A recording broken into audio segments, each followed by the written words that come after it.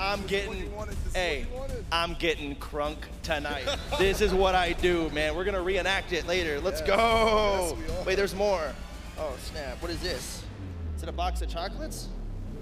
Open that, open that, uh, mother effort. What is that? What is going on? Uh, a compendium of truffle collect truffles. Aren't those like a million dollars each? Oh, it's chocolates. Did you get it from like Hogwarts or something? This is perfect. oh, okay, I won't touch it. Hey, chocolate, we got champagne. Let's get some, there's some paper as well. Hey, was there something inside there?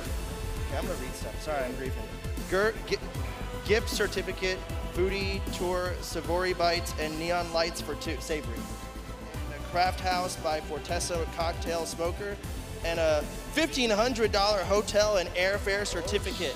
There you go. Congratulations, gentlemen, for, for that moment. We actually have.